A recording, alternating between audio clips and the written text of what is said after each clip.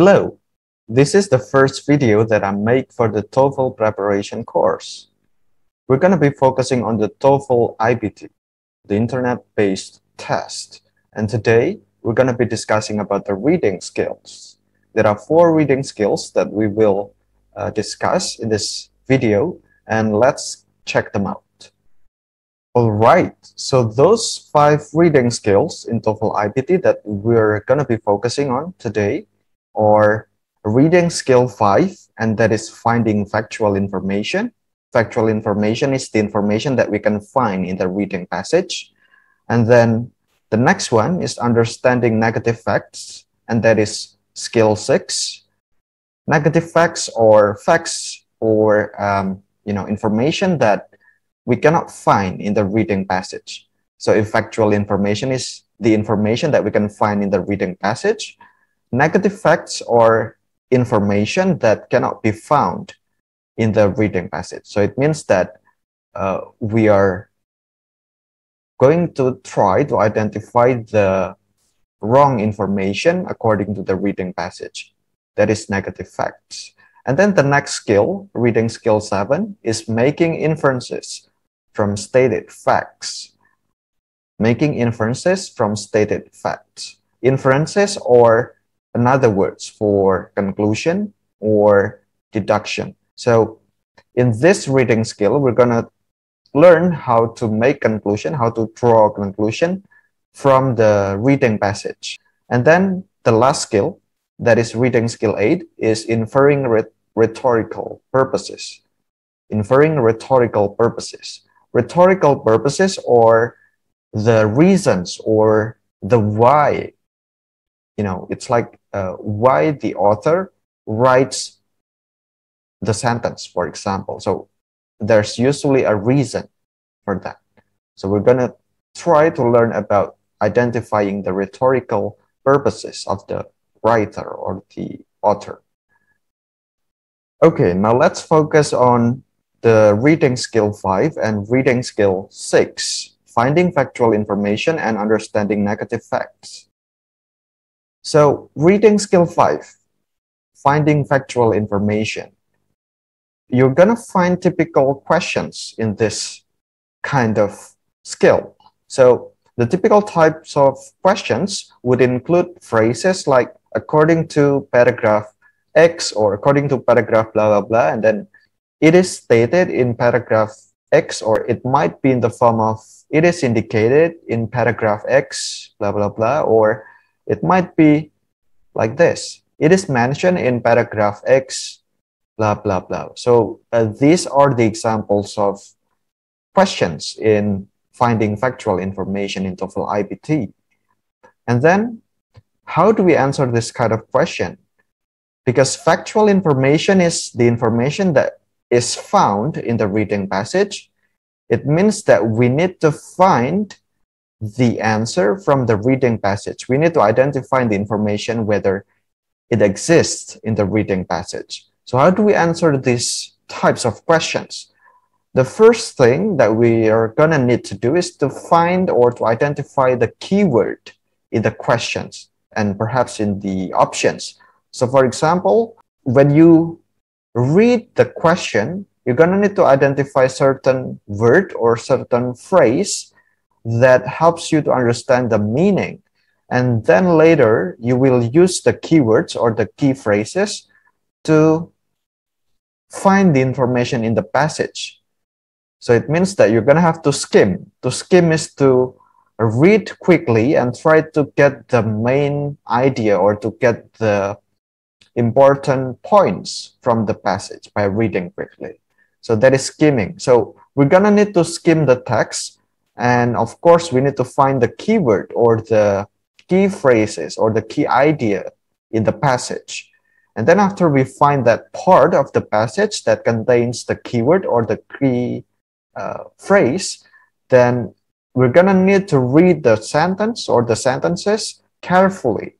Okay, so we're gonna need to read the sentences carefully, the sentences that contain the keywords, because we're going to need to really understand the information in that sentence or in those sentences okay so after we understand the information from the sentences, then we can choose the best answer.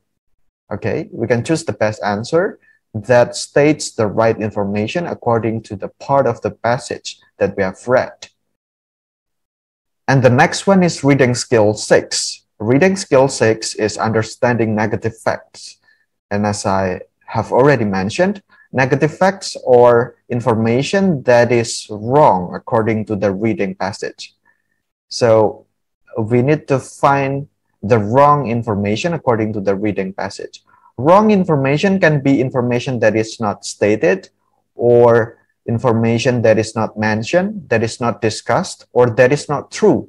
So usually the questions that ask about negative facts in TOEFL IBT would have these phrases. So the questions might sound like, it is not stated, blah, blah, blah. And then it is not mentioned, blah, blah, blah. It is not discussed, blah, blah, blah. It is not true, or it is not indicated, or it might be in the form of this kind of question. All of the following are true, except blah, blah, blah. So we're going to need to find the choice or the option that is not true. Okay? That is negative facts. And then, how do we answer this kind of questions? Well, the strategy would be similar to finding factual information. So finding negative facts has similar strategy to the previous skill that we have learned. How do we do that? First, we're going to need to read the question.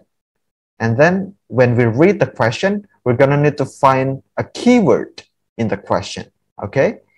And then after we identify the keyword from the question, we're going to need to locate the keyword in the passage. So we need to scan to scan means to read quickly the passage and find the keyword in it. Okay, so we need to scan the passage and try to find the keyword. And after we find the keyword and identify the part that contains the keyword, then we need to read that part.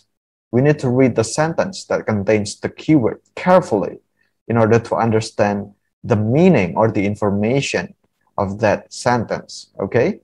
And then after that, we're going to need to look for the answers that are definitely true according to the passage and then eliminate those answers. Remember, we're going to need to eliminate those answers, not to choose those answers, okay? Because we need to find the negative facts, the information that is wrong according to the passage. So eliminate any answers that are right or correct according to the passage, and then choose the answer that is not true or that is wrong according to the passage. And that is the answer. Okay?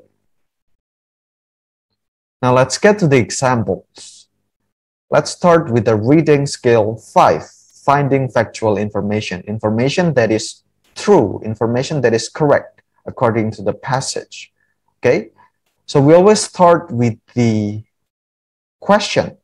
So the question here, number four, According to paragraph one, this is paragraph one, by the way, you can see the paragraph number on the left. So the question is, according to paragraph one, the Olkhon crevice is blah, blah, blah.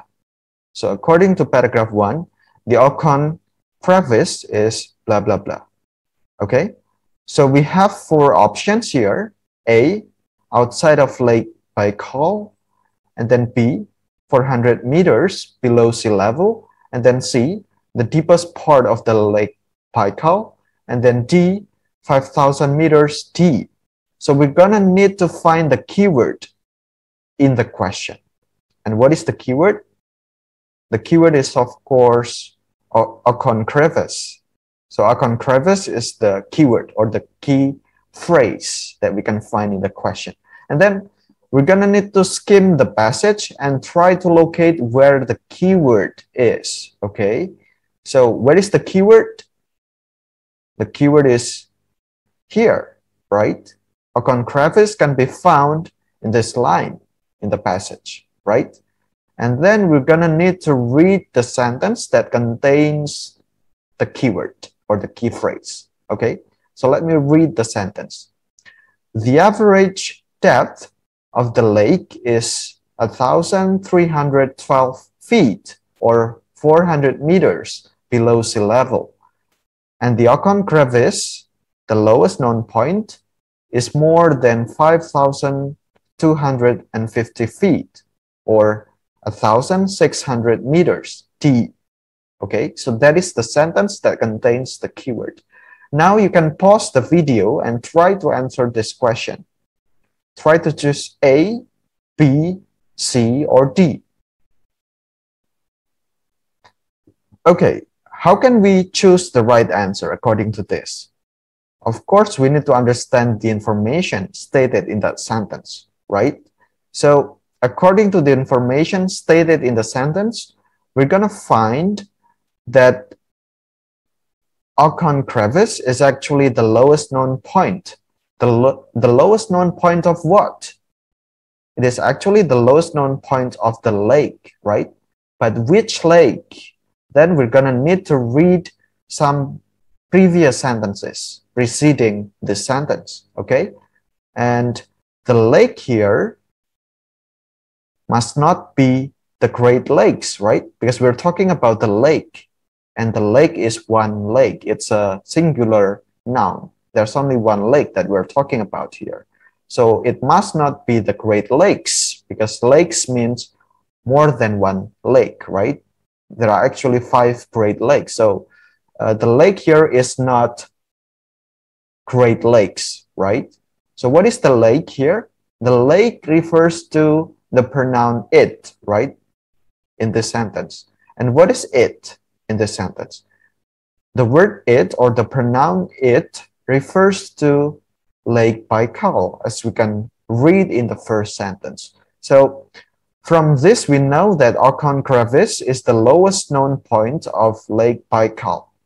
Okay, and what is the answer? The right answer would be C, because the lowest known point is another word for the deepest part the lowest known point is another phrase or another words for the deepest part. Okay. And then, uh, as we know, Olkhon crevice is the lowest known point or the deepest part of Lake Baikal, and therefore C is the right answer. That's how we find the right answer in factual information type of question. Okay, so in TOEFL IBT, we do not expect to find the exact same words in the options. Usually the options will be a restatement of the information that we read in the passage. So do not expect to find the exact same words in the options, okay? Moving on to the example of reading skill 6, understanding negative facts. Remember, negative facts are information that is wrong according to the passage, okay? So again, we start with the question. So let me read the question for you. According to the passage, it is not true that sand dabs and flounders, blah, blah, blah. Okay? According to the passages, it is not true that sand dabs and flounders, blah, blah, blah. Okay. What are the keywords or what is the keyword the keywords are, of course, sand dabs and flounders, right? So sand dabs and flounders are the keywords. Now let's try to find, let's try to scan the passage and find the keywords in the passage, okay? So where are the keywords? The keywords is here, right? So the keywords can be, can be found in the first line sand dabs and flounders. Okay, you can pause the video and then try to identify the right answer, okay? Whether it's A, have flattened bodies, whether it's B, live along the ocean floor, whether it's C, live in the deepest part of the ocean, or whether it's D, live along the continental shelf. So which one is the right answer? if we have a look at the passage, we're going to know that sand dabs and flounders are types of flatfish family. So we know that sand dabs and flounders are examples or types of fish. Specifically, they are types of flatfish, right? And then from the underlined information, we know that sand dabs and flounders have flattened bodies, right? So they have flattened bodies, okay? Because they are flatfish. And then they are well suited to live along the ocean floor.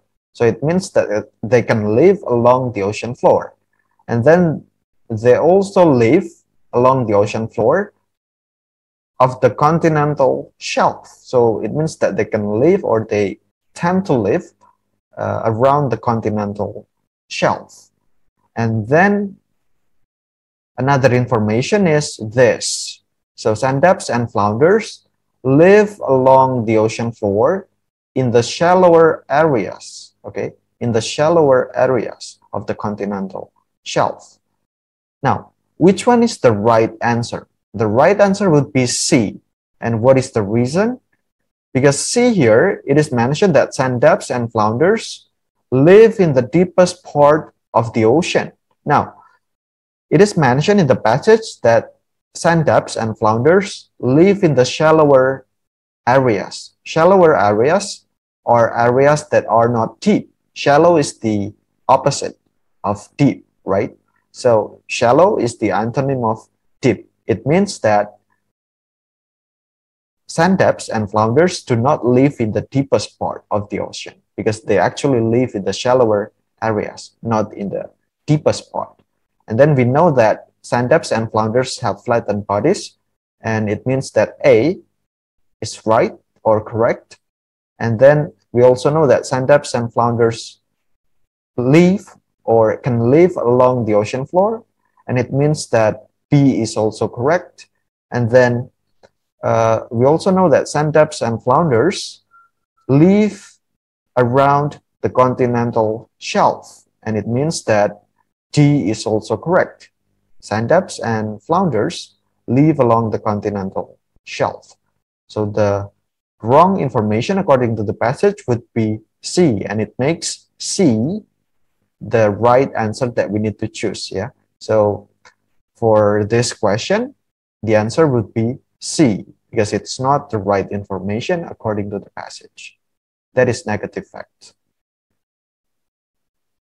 Okay, after reading skills 5 and 6, we're gonna continue with reading skill 7. So reading skill 7 is about making inferences from stated facts. Inferences are conclusions or deduction that we can draw from the passage from the part of the passage. Okay, so how do we answer these kinds of questions? Well, we're going to need to identify the questions first. Usually, making inferences from stated facts type of question would have these phrases. So you might find those questions uh, seeming like this. It is implied in paragraph X, blah, blah, blah, or it can be inferred from paragraph X, blah, blah, blah, or it is most likely that blah, blah, blah, or what probably happened, blah, blah, blah. So those are examples of the questions that ask about making inferences from stated facts, okay? And then how do we answer those types of questions? First, we're gonna need to find the keyword or phrase in the question. So again, it's quite similar to the previous skills, right?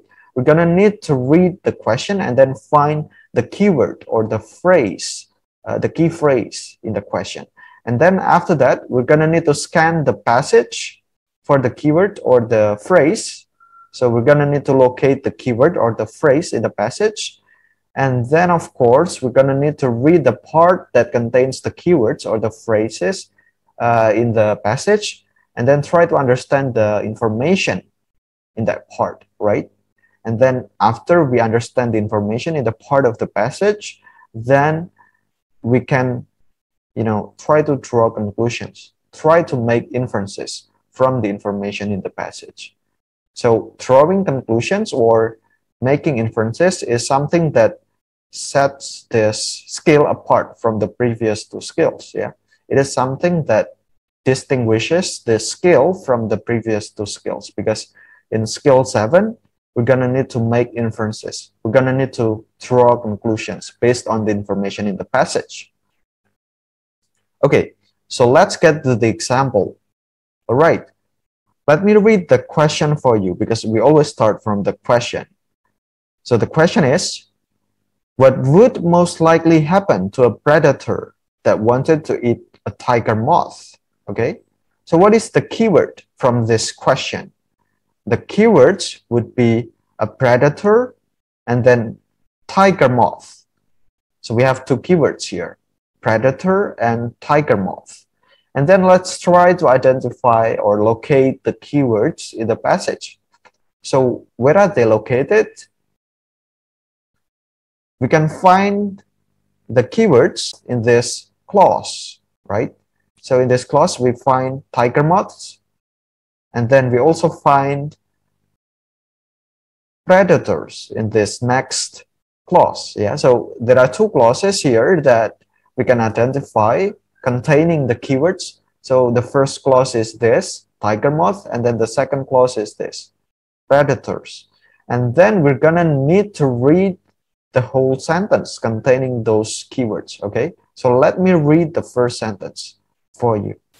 One of the most beautiful of the more than a hundred thousand known species in the order Lepidoptera are the tiger moths. Moths known for the striking appeal of their distinctive coloration. Okay, so we know that tiger moths have some sort of distinctive coloration.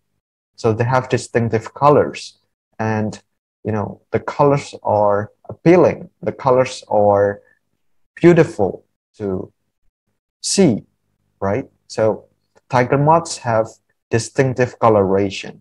And then the next sentence the next clause containing predat predators. So let me read it for you. Such boldly patterned color combinations are commonplace in the animal world. So it means that such coloration can be found in many animals. And then uh, we know that the coloration serving the function of forewarning potential predators. Okay, so we know that the function of the coloration of the tiger moths is to forewarn, is to give warning potential predators. So if we are asked to make inferences, if we are asked to draw a conclusion from these two clauses, then we can know that the conclusion would be this option D, right? The predator would back away from it because if the coloration forewarns potential predators, it means that the predators would likely be backing away from it. Yeah. So if the predators see the coloration of the you know tiger moths, it will likely or they will likely to back away from it. So they will stay away from it because they know from the colors that tiger moths are you know dangerous to eat, for example. So yeah, the right option would be D. So we're gonna need to you know draw a conclusion from the information in the passage, and that is uh, reading skill 7. And next, reading skill 8. Reading skill 8 is inferring rhetorical purposes. Now, inferring rhetorical purposes is the same as identifying the reasons of the writer or the author of why they write certain sentences in the passage. Okay, so typical phrases that we usually find in the questions is, you know, phrases like this. Why does the author blah, blah, blah? And then you may also find questions like, the author mentions X in order to blah, blah, blah. So those are typical forms of questions that ask about inferring rhetorical purposes. Okay, so uh, how do we answer these types of questions? Of course, we're going to need to study the highlighted information carefully. So usually in the question, we will be provided with highlighted information. Okay, so we need to read the highlighted information carefully. And then we're gonna need to find or locate the highlighted information in the passage, of course. And after we find the highlighted information in the passage, then we're gonna need to read the context. The context means the surrounding sentences around it, okay? So we're gonna need to read the context around the highlighted information in the passage, and then we need to ask ourselves how the highlighted information is related to the context around it, okay? And then again, uh, we need to draw a conclusion from uh, the, the context, and then based on the conclusion uh, that we draw from the context, then we can read the answer choices and eliminate any definitely wrong answers. And of course, we can choose the best answer from the remaining choices. And that's how we answer this type of questions. Now let's get to the example. And this is the last example, by the way. Uh, we have this question. The author places the phrase small grains to which dry ink adheres in parentheses in order to blah, blah, blah. So this is the highlighted information. Small grains to which dry ink adheres. That is the highlighted information. And we're going to need to locate this highlighted information in the passage, of course. So where is it located? It's located here, right? So we know that the highlighted information is actually written in parentheses. So these are parentheses, okay? And then we're gonna need to read the sentence which contains the highlighted information. And the sentence would be, as a result of the conductivity, the drum uh, loses its charge in the lighted areas, and toner, small grains to which dry ink adheres, attaches itself only to the darker parts of the image so the function of parenthesis is usually to give further information about the previous unit. And what is the previous unit before the parenthesis? The previous unit is actually toner, right? So what is the right answer? What do you think is the right answer? Try to pause the video and then choose the right answer, whether it's A, provide information that contradicts the previous statement, or whether it's B, provided or provide in another example of conductivity, or is it C, provide further detailed information about toner, or is it D, provide an alternate explanation for the effectiveness of toner? Which one is the right answer? The right answer would be C, because, you know, uh, the highlighted information is written in parentheses, right? So it means that it provides further detail information about toner. So toner is small grains to which dry ink adheres. That's how we understand the rhetorical purpose of why the writer writes this highlighted, you know, information. So the right answer is C. Okay, that's the end of this video. I hope that you understand all the four reading skills that we have scrutinized in this video. So we have learned reading skill 5, reading skill 6, reading skill 7, and reading skill 8 in TOEFL IBT. If you have any questions, you can write your question in the comment section down below.